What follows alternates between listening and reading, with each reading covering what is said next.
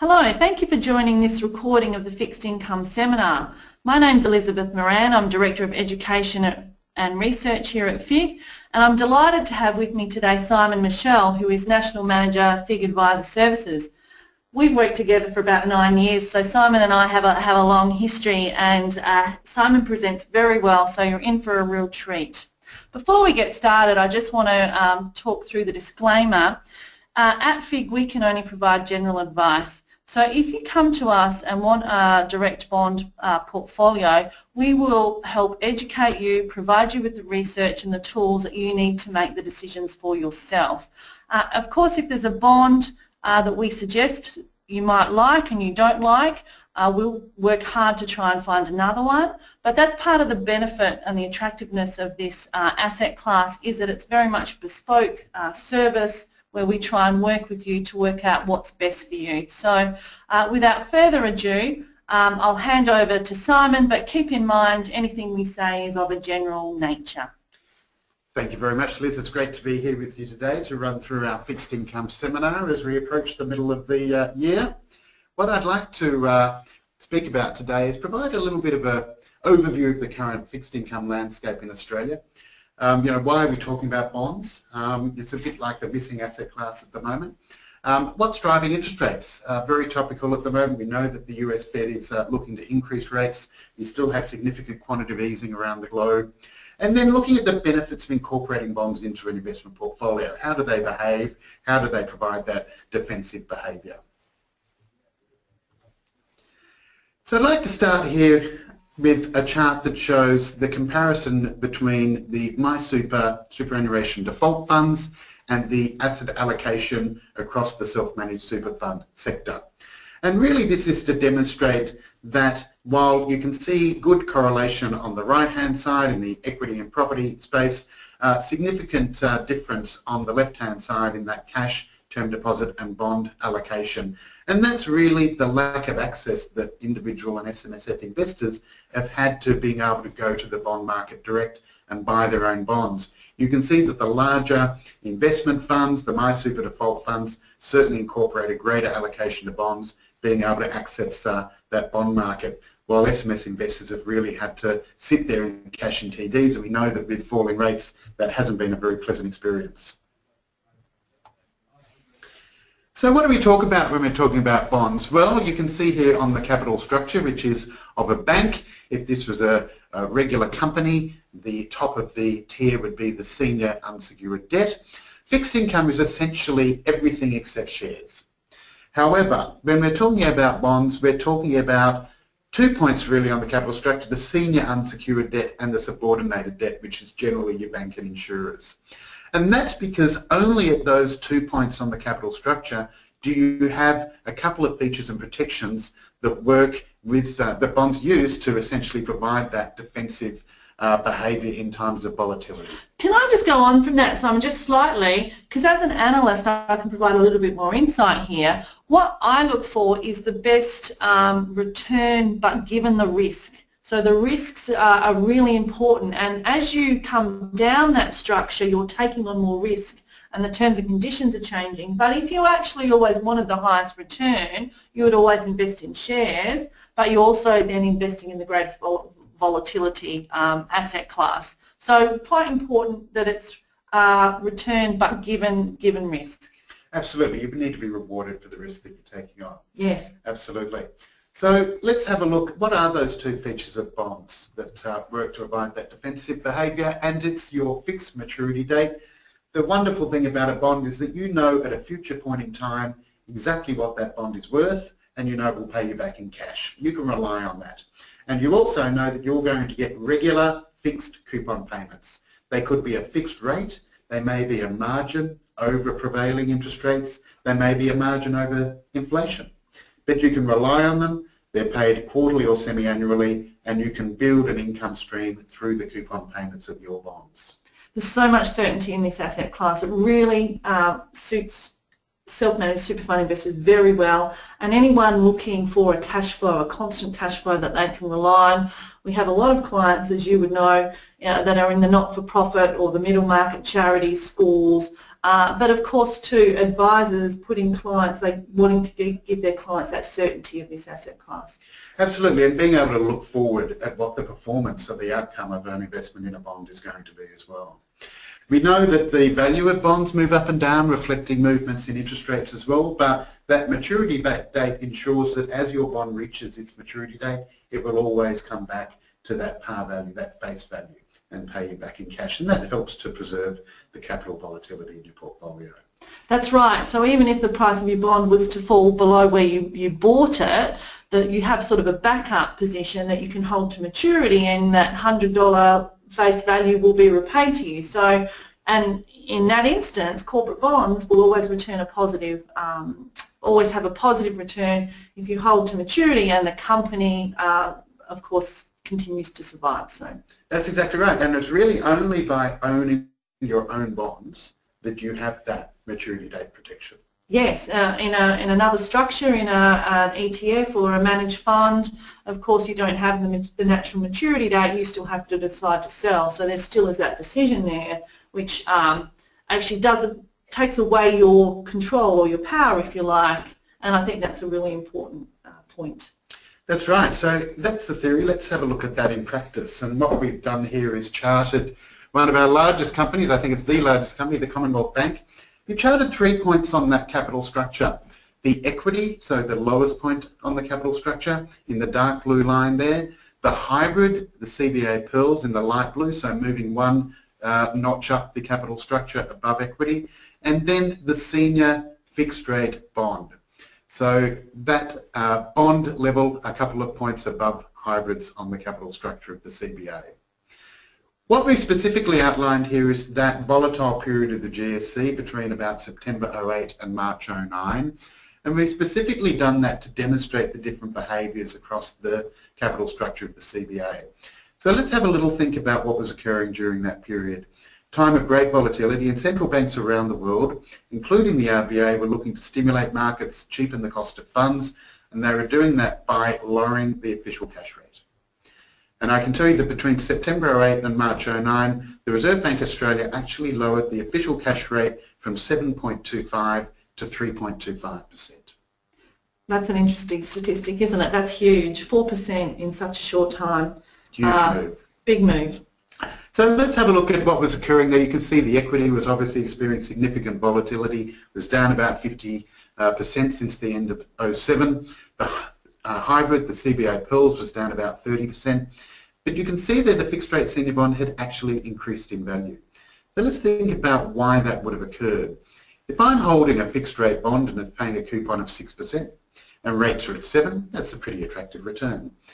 But if rates fall down to 3% and I'm still holding a bond that pays a coupon of 6%, all of a sudden that bond starts to look a little bit more attractive.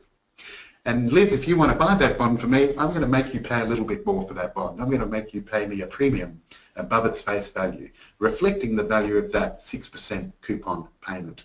And we know that at that senior bond level, you, there is no discretion for issuers around coupon payments. They must be paid. They can't adjust them according to the market. So it's that certainty of knowing you've got the protection of that coupon payment that you can see there reflected in an increase in the value of that bond. So really by diversifying across the capital structure of a company or a bank, it gives you more than one point uh, for liquidation in times of volatility. And you can see there that while you may not have wanted to sell your CBA shares, you certainly could have sold the bond and uh, had a good result. I think this graph's very interesting because I think it points towards a recovery period, if you like, uh, after a GFC type event. So you have the obviously the share losing about 50% of its value um, after during the GFC, but if you look at that dark blue line and follow it, it takes roughly five years to catch the senior bond. So to my mind, that's how you've got to think about uh, your portfolio or your client's portfolio and structuring so that they can sustain the sort of the five-year recovery period, hopefully, uh, and make sure that also they have a range of risk assets. Because if they're all uh, invested in shares, and particularly looking at this chart, which is CBA, which to my mind as an analyst is the lowest risk company on the um, ASX. You know, think about some of the higher risk companies, the miners, the um, Um, the banks even just very recently, we've seen their, their share prices come off. Having, having a think about some of the other um, riskier um, companies, you know, it's going to be a longer term and a harsher, harsher correction under a GFC type event. Absolutely, and that goes back to your comments when we were looking at the capital structure of ensuring that you're being rewarded in return for the risk that you're taking and where on that capital structure you're investing. I mean, interestingly, if you look at the hybrid, the pills there, you can see pretty volatile in times of uh, the GFC, but if you look um, back when you see the recovery of the equity, it's a fairly flat line, very much more like a bond. So it's not going to provide that upside to you. No, no upside with hybrids. They only pay the face value at maturity. You can't. You, there is no sort of blue sky as there is with a share, which, uh, but they take on the the characteristics and uh, at a stress market, as you can see. Absolutely. So we're talking about capital preservation and income generation, and you know that's growing in its importance to this market because we're living longer, and we're now fast approaching a time where the number of years in retirement is uh, almost matching the number of years we're actually working to generate funds and capital for that retirement. So the need to ensure that our retirement portfolios last for a multi-phase retirement uh, and meet our uh, growing needs uh, are vastly more important. Really a challenge that financial advisors have out there in the market, especially as we approach uh, into our 90s. You know, most uh, people now retiring, they might still continue to work a couple of days a week, um, you know, before they go on a bit of travel around the place and then maybe into a low-care retirement village. But as we are lasting uh, a lot longer into our late 80s and 90s, obviously requiring a, a higher level of care though, there. So really important that you lock your income in with uh, bonds and fixed income so that you can ride the volatility cycles out in your other allocations. And it's interesting, we don't actually state there in that particular graph the percentage of growth or um, income assets, but one of the old adages used to be to own your age in fixed income or bonds, so that as you age you need the more certainty and uh, I think that's an interesting. Yeah, Everyone finds their own level, but that's right. And it's important to increase that over time as well, even in retirement. You know, it's not about getting to retirement, making an asset allocation change, and leaving it sit there you need to continue to adjust that, as you say, to provide more of that capital preservation protection in your portfolio as you age. Absolutely. So why are we talking about bonds? Well, investors, uh, individual and self-managed super fund investors can now buy the bonds that the bond funds buy, go direct to the market and get those features and protections that the big institutional investors have had to themselves in recent times. Look, obviously returns are dropping, term deposits uh, rates of return are dropping, interest rates continue to fall, reaching new record lows even this year. Uh, we've seen fairly low performance in other asset allocations as well. So investors are really looking for an alternative and some certainty in their performance as well. We've seen changes in regulations in the hybrid space and even in term deposits that now have a minimum 31 day break on them. So, you know, again, it's about ensuring that you're at the right place on that capital structure for the return that you're getting. Transparency, just like going direct and buying your own shares, going direct and buying your own bonds and knowing what your exposure is to. You buy a Telstra bond, you know you're exposed to Telstra, CBA, Qantas and being able to diversify across structure, incorporate some fixed rate, some floating rate bonds, some inflation linked protection, because your defensive asset allocation isn't about trying to preempt what interest rates are going to do. It's about building the protections in your portfolio to deal with whatever interest rate view emerges over time. We've spoken about the maturity date, the certainty of income through your coupon payments. Liquidity, really important. The bond market is huge. It's uh, double or more than the equity market. And there's a lot of liquidity uh, out there on a daily basis. You can sell your bonds at any time. Uh, you know, if you have a selection of bonds in a portfolio, you can certainly liquidate the majority of them within two, three days. And that's important, especially, as I mentioned before, when you actually can't break a term deposit in less than a month. one of the key drivers has really been opening up the access by lowering the entry point for investors.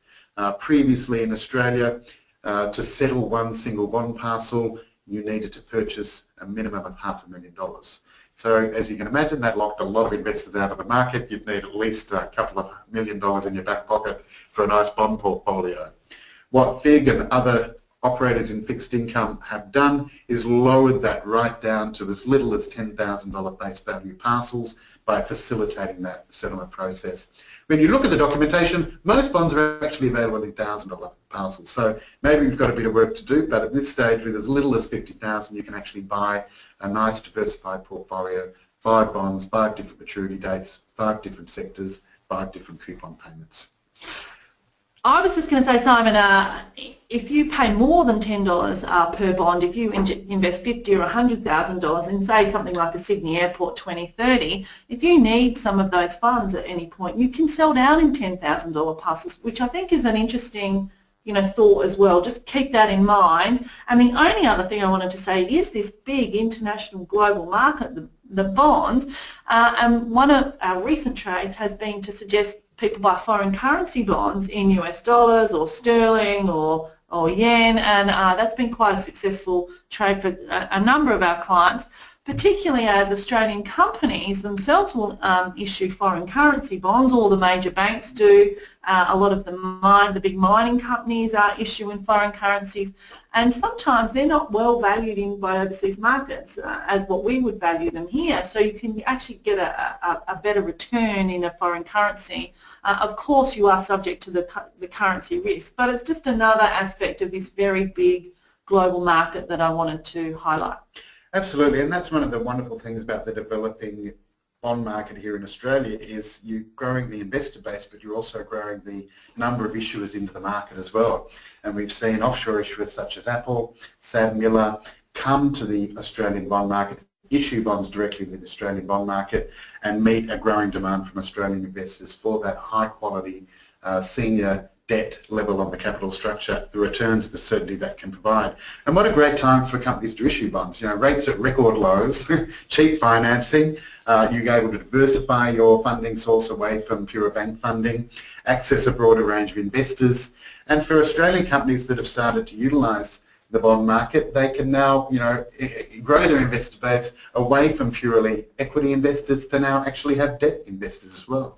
The great benefit that has for retirees is that as you transition into retirement, you can actually continue to support and invest in the same companies as you have as a share investor, but now at that senior debt level with those additional protections, that more certainty, lack of volatility uh, in retirement. So I think it's wonderful that we're seeing that open up and driven not only by a growing number of investors looking for bonds, but also supported by a growing number of issuers and companies uh, looking to access that market. The diversification's all there. It's all waiting for us. So let's have a look at uh, interest rates at, at, the moment and uh, put this chart up here just to demonstrate that we're not out of the woods yet.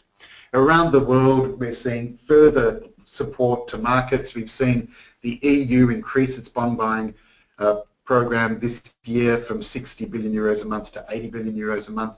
Japan continues to provide more money for bond buying, lower deposit rates, and obviously we've had China uh, influencing their market through lowering deposit rates and throwing some capital at the at their markets as well to to support. So while we know that the US has pulled back and tapered back its quantitative easing program, what this chart shows is they're still sitting on about four and a half trillion US treasuries and continue to reinvest coupons on that. So we're still in the first half of this. We're yet to get to the halfway point. And it's really important to know that around the globe, significant volumes of money are still being thrown at global markets to support uh, markets. And that's why you're seeing a lot of uh, that flow back into bond markets and keeping yields significantly low. We're certainly not out of the woods yet. No, in fact, the um, EU's just started buying corporate bonds so not only do they buy the sovereign or the government bonds, but they're entering into the corporate bond market to, to try and support the market and, and increase activity. It really hasn't worked. Uh, interesting times ahead, I think. Absolutely. And so if you're a beneficiary of all of that quantitative easing money hitting the global market every month, you're going to look at a place to put it. Mm. And you're going to have a look at this chart. And this shows the two-year government bond rate across 20 developed economies.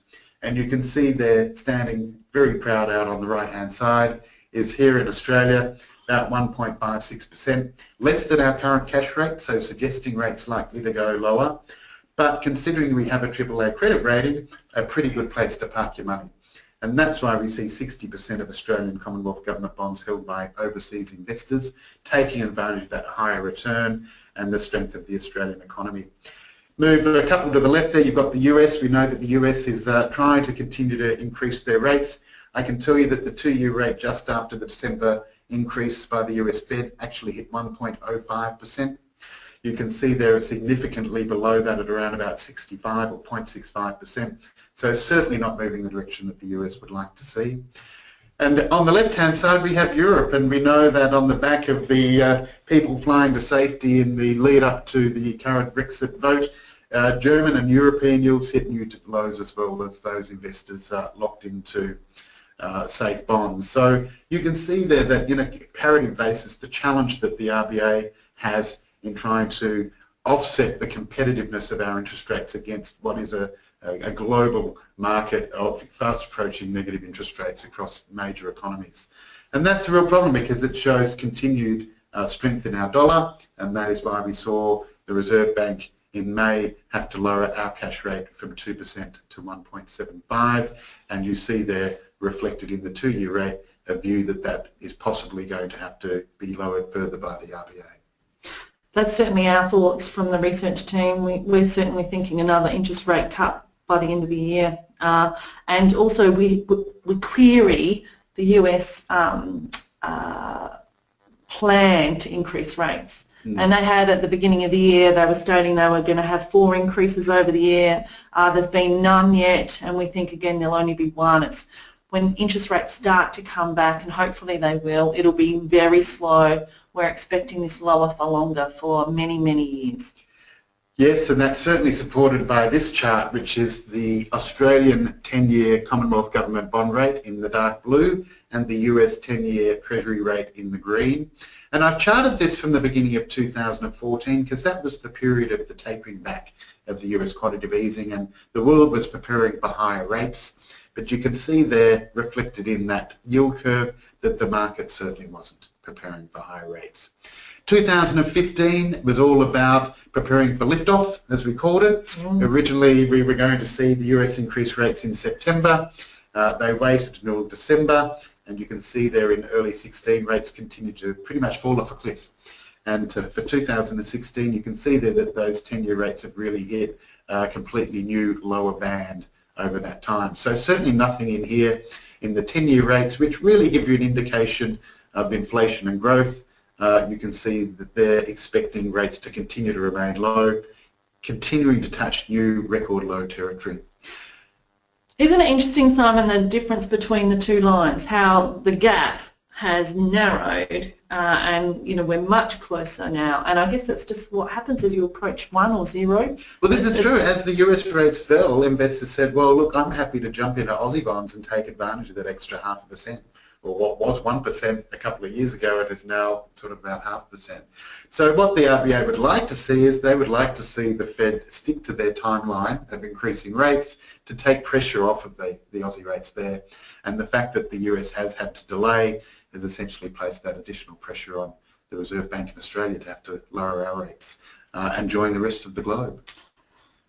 Yes, sad but true.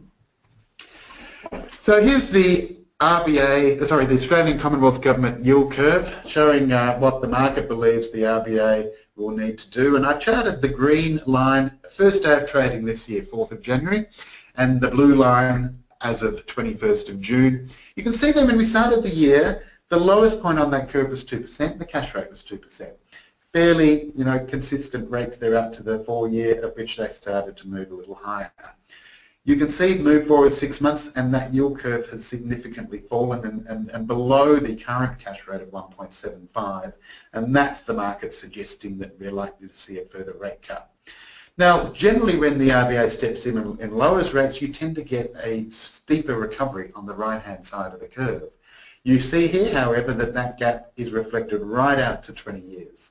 So it shows you there that significant drop in expectation on the back of lower inflation and growth of the recovery of these interest rates. And again, back to that lower for longer. Well, it's, it's fascinating, isn't it? You know, after 10 years, what this chart is saying is that they expect interest rates to rise by half a percent. Half a percent over 10 years is very, very low. And um, you know, out to 20 years, well, just over well, over 1%, maybe 1.2% over 20 years. It's a generational outlook, I think, um, and well worth thinking about your structure, how you've structured your investments at this point because that sort of interest rate uh, curve implies low growth environment and typically, uh, for example, the share market doesn't do very well in a low growth environment because that's what people are targeting, they want growth. Uh, and having a think about how you um, secure that income and have the positive returns in that environment is pretty important. Absolutely, and especially considering Australia has been very much a growth-focused uh, economy in recent times, we now have to start thinking more of the income side of performance. A couple of things we look at is firstly uh, underemployment, and this is both a challenge here in Australia and the US in that we're seeing uh, positive uh, employment growth, but it's very much in casual work. Uh, so you can see that wages growth has been fairly uh, benign, and that is because we don't have full uh, utilisation of full capacity and you don't have that demand for employers. So while you see more people working, the average hours worked is pretty steady, reflecting the fact that a lot of that work is part-time work, casualised work, and uh, people still need more hours and that's, that's where that demand goes uh, initially. Growth, we know that uh, Australia's had some good growth figures this year, which has been positive, but obviously if you look at the world GDP growth forecast, we're still seeing downgrades there. We had the IMF come out in the last couple of weeks and further downgrade global growth, and that's really reflected in those 10-year rates we were looking at a couple of charts ago. Commodities, uh, that drop, significant drop in commodities obviously reflected in that significant fall in inflation and that's still uh, being reflected by lower rates and forcing uh, central bankers around the globe to lower rates. Uh, central bankers need inflation, they need growth in the lead up to moving rates higher. And uh, it's this fallback in inflation that's really inhibited the ability for the US Fed to continue its path of increases. And while we hear commentary from the US Fed that they continue to wish to move those rates up um, is really subject to these data points and uh, they're certainly moving away from the US Fed at the moment. It's very finely balanced, isn't it? You, they can't afford to increase the rates because they risk tipping the country back into a recession. Of course, this year's an election year interesting enough for me, uh, having worked in the UK, and what not many commentators are talking about is that after an election year, typically there is a big, quite a big slowdown in the economy because you're not getting that spend on advertising, media, marketing, merchandise that you do in an election year. So I think uh, even next year, I'm you know, watching the Fed try to increase rates when there's going to be a natural slowdown, I think, in many sectors in the economy is going to be very difficult very challenging time for them moving against the rest of the world at the moment. And this is the Australian dollar and uh, the uh, RBA managed to get it down below 70 cents for a couple of points there late last year and early this year, but you can see there that as the US Fed have delayed their action, the demand for Australian bonds and the Australian dollar has increased. Uh, in the lead up to the May drop in the cash rate, you see there the dollar drop back, reflecting that, but again, uh, as other economies have lowered rates, that uh, stubborn Aussie dollar keeps creeping higher, currently around 75 cents, and I can tell you that if you watch this chart and it gets back up around that 78 cents again, you can pretty much put your money on another interest rate cut from the RBA. This is what Glenn Stevens is looking at, and this is the challenge he has and why he has to continue to lower rates just to try to stop that offshore demand for Australian dollar. Well, it flows through so many sectors in our, you know, in our in our country, doesn't it? You know, e exports, tourism, education are really important for us. So interesting to watch. I don't. I think there will be another cut. I think that that's too high. Part of the reason it's high is we are getting that money coming in and investing in our assets. Simon talked about um, Australian government bonds, but there's also quite a big demand from global investors in corporate uh, Australian corporate bonds. And interestingly, one of the biggest uh, investors in Australian infrastructure bonds is Canadian superannuation funds. Uh, Asian private buyers like corporate bonds as well. So there's a lot of people looking at us right now. Uh, corporate bonds offering much higher returns than other places globally, as well as the, the government bonds as well. And I put this chart up here because it really demonstrates the challenge that we have and uh, from the 1st of January 2014 to at the end of June, you can see they're pretty much sideways.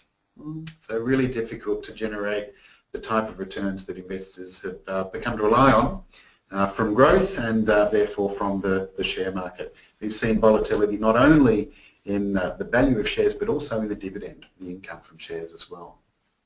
Quite a few big cuts in the last uh, half year. BHP notably, uh, I think it was about 60% cut to their dividend. ANZ cut uh, about 7% to their dividend. difficult really, really to rely on a dividend for an income stream because it can be cut. Just to highlight that, you'd all be aware of that. You know, the bonds, they cannot cut whatever the rate is set at first issue, which is part of the attractiveness of them. But of course, if you've got the share price going down, uh, however high the dividend is and however much you would enjoy franking, if you're still incurring a loss, uh, quite damaging uh, overall. Mm.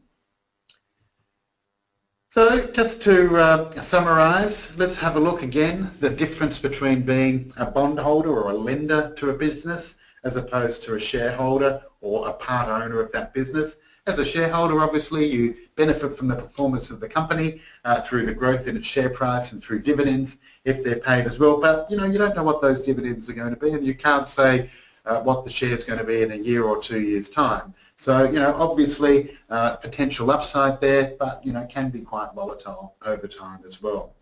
As a bondholder and a lender to the company, you're essentially provided additional protections. Uh, we've spoken about the protection of a maturity date, a point in the future at which you know exactly what your investment is worth, its face value, and you get that paid back in cash. And also, obviously, the certainty of your income payments, your coupon payments. You know when they're going to hit your bank account. You can rely on them. You can build a lifestyle around them. They give you that certainty of performance. And you know also that you have the protection of sitting above uh, both shareholders and hybrid holders in the event of a wind-up. Uh, should a company fail to pay its coupon or fail to pay back its uh, bond issue on maturity, it is a breach, it is a default, and the company would go into liquidation.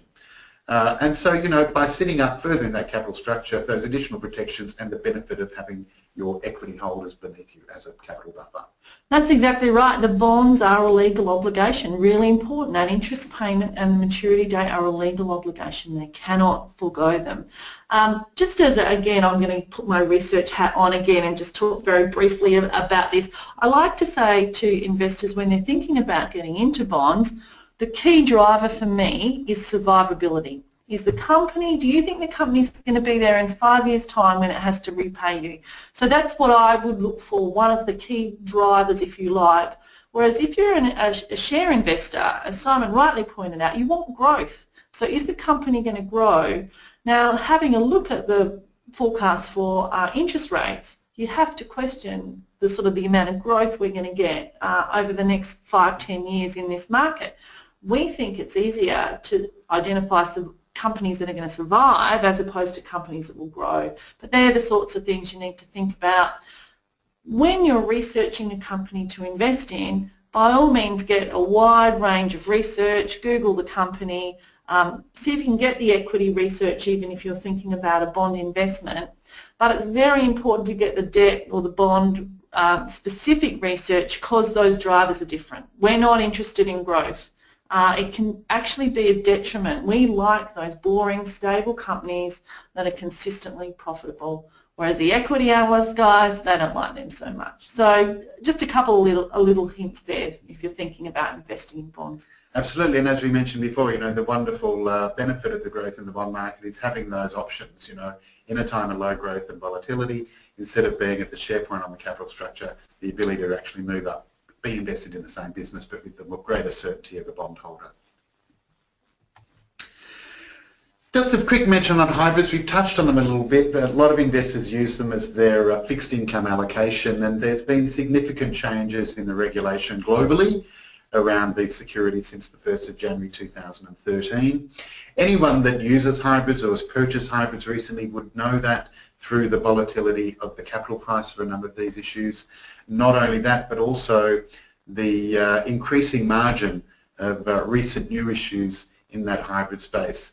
And uh, the recent issues of hybrids. Uh, what CBA did one at a margin about 5.2. The ANZ did one in the US recently, comparative margin about 5.5.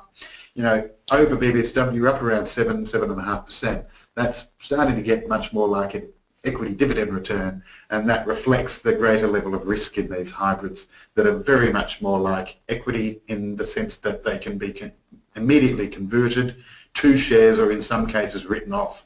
So while they too tend to look like a, a bond in the sense that they pay you a regular payment, that payment is actually a dividend. It's not a coupon. You don't have the protections that you do as a bondholder. So it's really important to know, while we certainly don't have a problem with the quality of these uh, issuers, they're generally good banks and they, at uh, the current margins, pay a decent sort of return, but uh, you know, it's something you'd want to look at as a comparison against equity rather than against bonds. You just need to ensure you have them in the right basket. So in times of volatility, you're not relying on these to provide that defensive behaviour.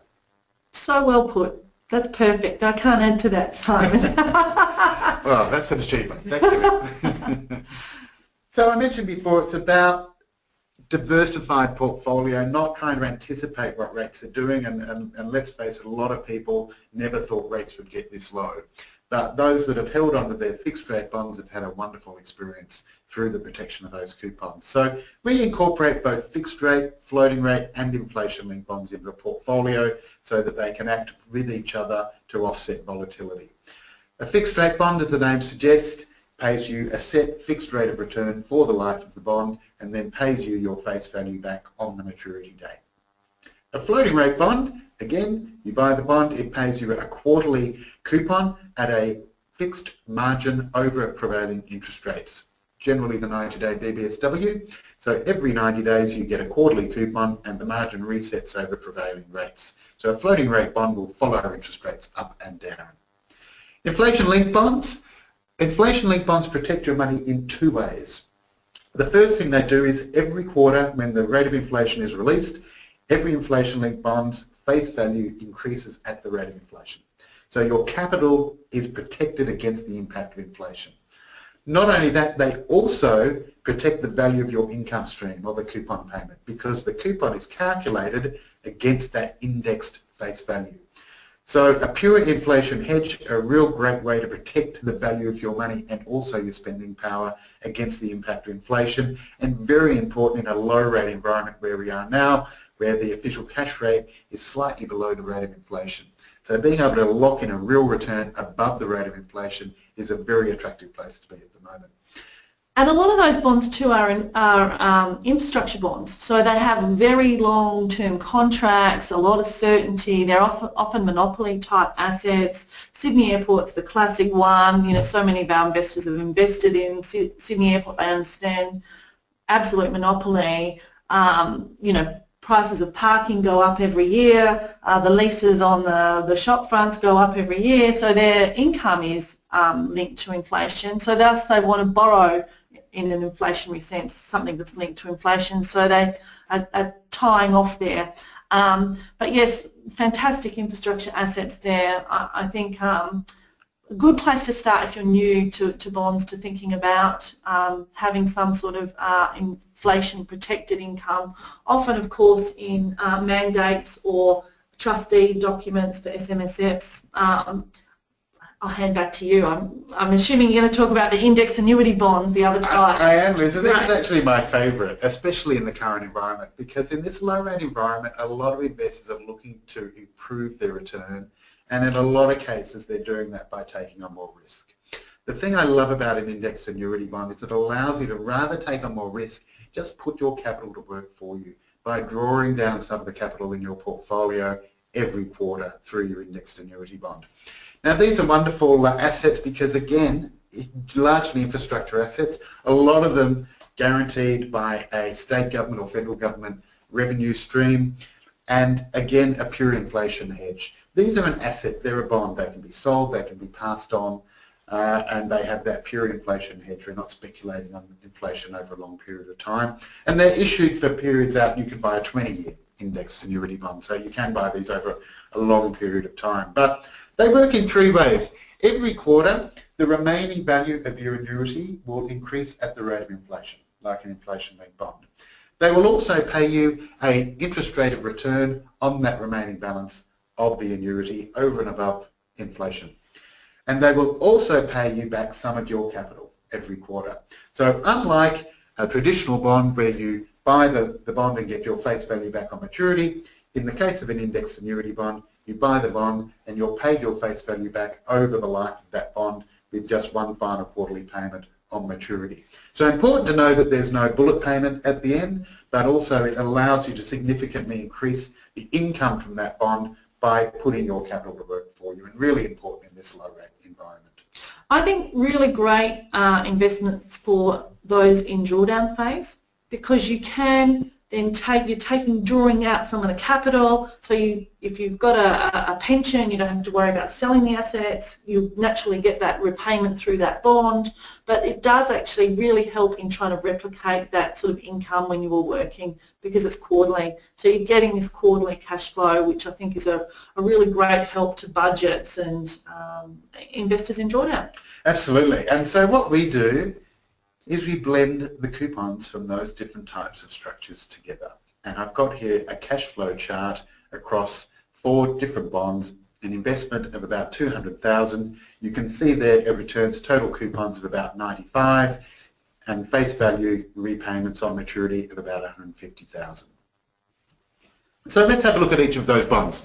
The first one is a Qantas fixed rate bond. You can see there semi-annual payments, exactly the same amount of cash hitting your account every six months, right through down to 2020, upon which on the right-hand side you can see you receive a $50,000 face value payment back.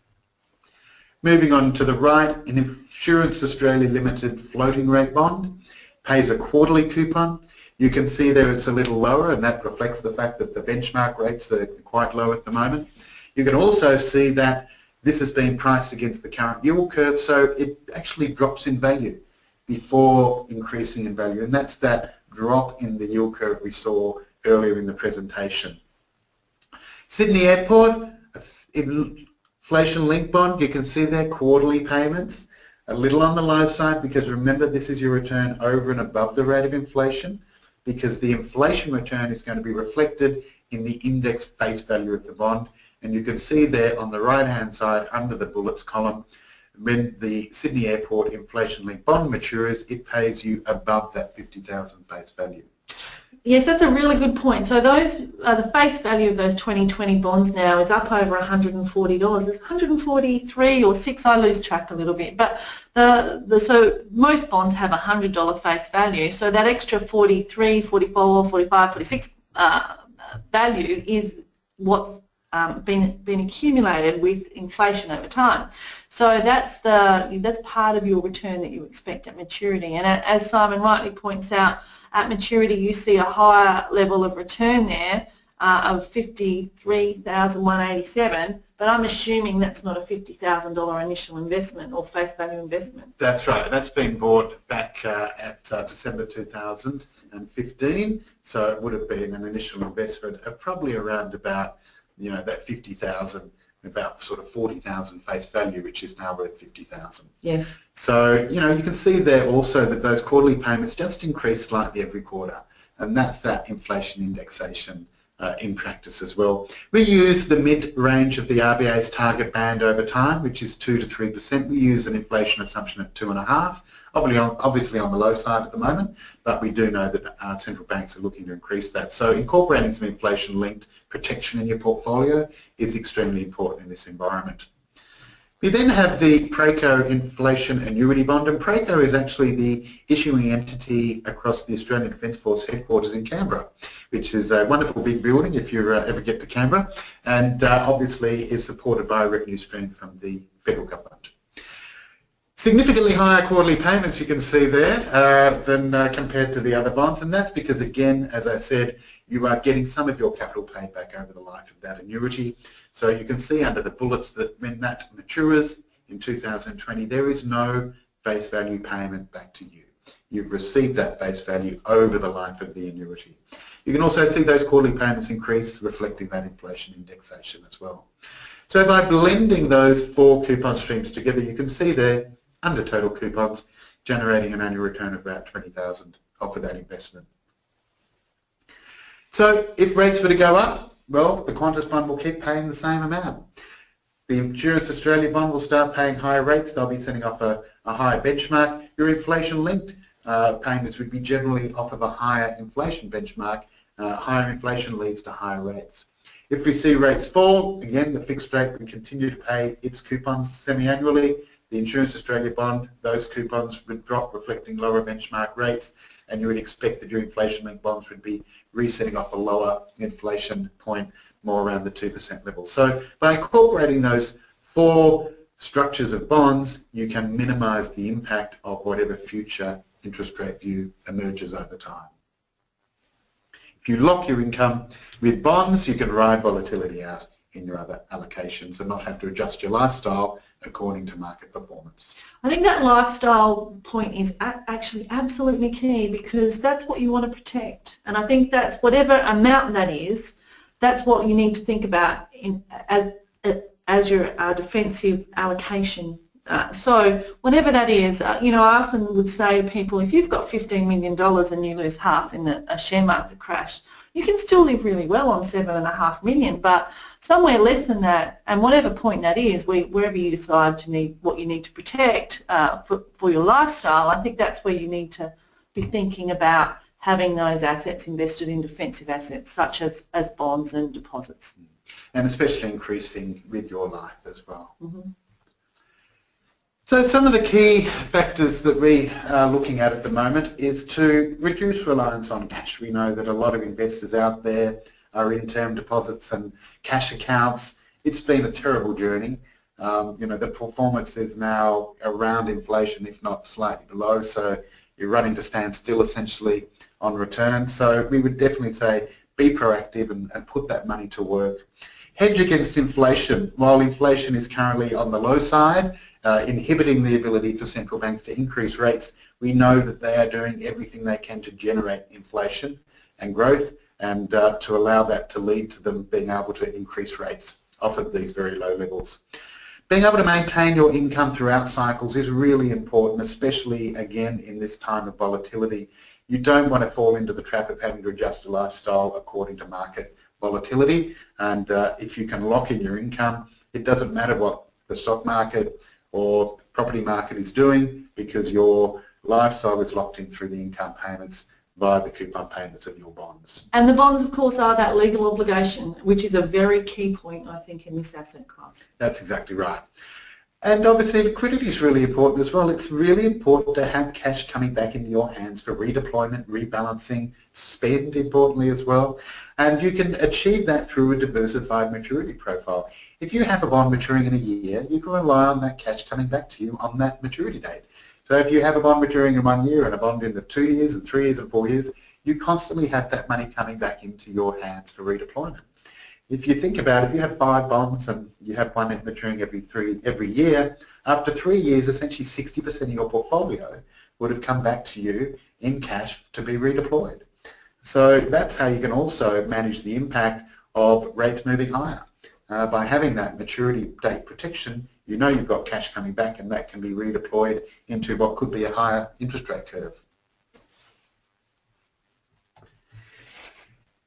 FIIG is bringing a traditional asset class to you with a modern approach and that means developing a lot of creative educational content for you to utilise and market commentary and education to the sector as well. I'd like to do a shout out for Liz Moran who does uh, some wonderful articles in the Australian every week and I would definitely suggest you look those up. They're also available, available on our Wire website. We've recently launched a FIIG app to bring the bond market to your hand and that is available via your phone or iPad. It gives you access to over 300 direct bonds, current and historical pricing, ability to put alerts in there on pricing, access also to educational, informational and market commentary also via the app there. So bringing the bond market to you. Our Australian Guide to Fixed Income, a great uh, glossary of terminology, educational content, really important for advisors and anyone operating in the fixed income space to have on the shelf to be able to refer to as credit rating tables, uh, model portfolios, some really good content there as well. Definitely get your hands on one of those. And before we finish up, I'd also just uh, direct you to our Wire website. This is now a dynamic comment and news website, constantly updated with the latest from the market. You can see you can filter across research, educational commentary or market data and is also the place to go to access our daily institutional FIIG bond rate sheet. So a great uh, resource there and I would definitely suggest you utilise that uh, when you're looking to improve the conversation around bonds and fixed income for you and your clients. I'm just going to just have a couple of words about the wire. I mean, as the editor, you know, a lot of a lot of work goes into that every week. Uh, we get multiple multiple experts in this business commenting on the market and on different at different levels. So if you're wanting to learn, I think it's a really really good place to start. There are also quite a lot of reports on companies and research, which so you can, if you're interested, for example, in those Sydney Airport bonds, you can go and search Sydney Airport and then you can see all the articles we've written about Sydney Airport over the last few years. So a fantastic uh, resource. And one other thing I should mention is we do have quite a lot of webinars, uh, live webinars and recorded versions as well. So there is an awful lot of information here. We really want to enable uh, our investors to invest on their own behalf or on behalf of their clients. We're not going to tell you what to do. Um, we're going to help you make the best decisions for yourself and I think that's probably one of the attractive things about FIIG. You can speak to uh, experts such as Simon or our, our, head of research or our portfolio strategy manager. There are people here to help you. We're all about making, uh, making bonds easy and uh, making it efficient for you to be able to access them and go direct to the market. Uh, most investors in Australia would own bonds indirectly. We say now you can go to the market direct and uh, access those protections uh, yourself. Which actually fits perfectly with the SMSF psyche of ha having control and knowing what you're investing in. And I think that's going to sum up our presentation, Simon, unless you have anything else to add. It's been lovely. Thank you very much, Liz. It's been great uh, spending some time with you and running through the Fixed Income Seminar. Absolutely delightful, Simon. It's been a while since we presented together, but so enjoyable. Thank you very much for joining us. Um, please, if we can help in any way, please contact us. Thank you for your time.